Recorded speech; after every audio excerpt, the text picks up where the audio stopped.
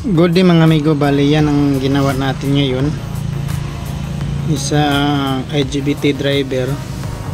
Saka yung una nating gawa. Ano, siya. oh. Load natin 1000 watts. Yan. Volume natin.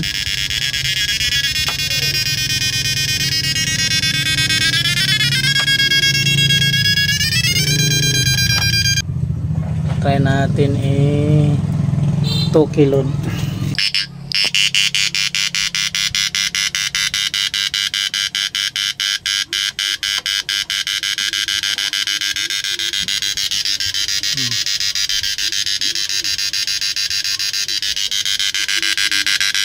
Volume natin.